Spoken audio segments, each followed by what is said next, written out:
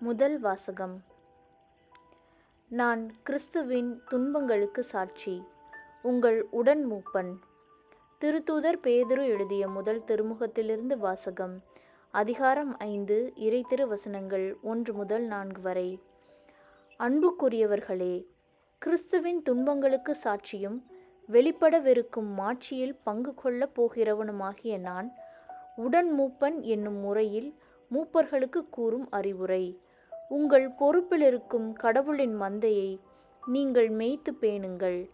கட்டாயத்தினால் அல்ல கடவுளுக்கேற்ப மன உவப்புடன் மேற்பார்வை செய்யுங்கள். ஊதியத்திற்காக செய்யாமல் விருப்போடு பணி செய்யுங்கள். உங்களிடம் ஒக்க ஒப்படைக்கப்பட்டுள்ளவர்களை அடக்கி ஆளாமல் மந்தைக்கு முன்மாதிரிகளாயிருங்கள் தலைமை ஆயர் வெளிப்படும் போது அழியா மாற்றியுள்ள முடியை பெற்றுக்கொள்வீர்கள். ஆண்டவரின் அருள்வாக்கு இறைவனுக்கு நன்றி. பதிலுரை பாடல் பல்லவி.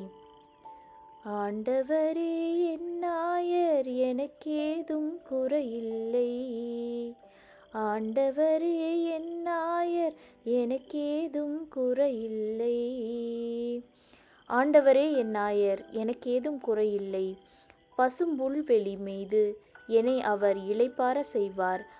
அமைதியான நீர்நிலைகளுக்கு என்னை அழைத்து செல்வார். அவர் எனக்கு புத்துயிர் அளிப்பார். தம் பெயர்க்கேற்ப என்னை நீதி வழி நடத்திடுவார். பல்லவி ஆண்டவரே என் நாயர் எனக்கேதும் குறையில்லை. சாவின் இருள் சூழ் பள்ளத்தாக்கில் நான் நடக்க நேர்ந்தாலும் நீர் என்னோடு இருப்பதால் எத்தீங்கிற்கும் அஞ்சிடேன் உம் கோலும் நெடுங்கலியும் என்னை தேற்றும். பல்லவி ஆண்டவரே என் நாயர் எனக்கேதும் குறையில்லை. என்னுடைய எதிரிகளின் கண்முன்னே எனக்கு ஒரு விருந்தினை ஏற்பாடு செய்கின்றீர். என் தலையில் நறுமண தைலம் பூசுகின்றீர். எனது பாத்திரம் நிரம்பி வழிகின்றது பல்லவி. ஆண்டவரே என் நாயர் எனக்கேதும் குறையில்லை. உண்மையாகவே என் வாழ்நாள் எல்லாம் உம் அருள் நலமும் பேரன்பும் என்னை புடைசூழ்ந்து வரும்.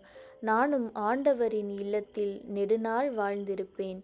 பல்லவி ஆண்டவரே என் நாயர் எனக்கேதும் குறையில்லை. நற்செய்திக்கு முன் வசனம். உன் பெயர் பேதுரு இந்த பாறையின் மேல் என் திருச்சபையை கட்டுவேன். பாதாளத்தின் வாயில்கள் அதன் மேல் வெற்றி கொள்ளா என்கிறார் ஆண்டவர். நற்செய்தி வாசகம். உன் பெயர் பேதுரு விண்ணரசின் திறவுகோள்களை நான் உன்னிடம் தருவேன். மத்தியே எழுதிய தூய நற்செய்தியிலிருந்து வாசகம் அதிகாரம் பதினாறு இறை திருவசனங்கள் பதிமூன்று முதல் பத்தொன்பது வரை. அக்காலத்தில் இயேசு பிலிப்பு செசாரியா பகுதிக்கு சென்றார்.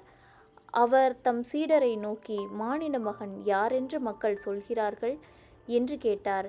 அதற்கு அவர்கள் சிலர் திருமுழுக்கு யோவான் எனவும் வேறு சிலர் எலியா எனவும் மற்றும் சிலர் எரேமியா அல்லது பிற இறைவாக்கினருள் ஒருவர் என்றும் சொல்கின்றனர் என்றார்கள்.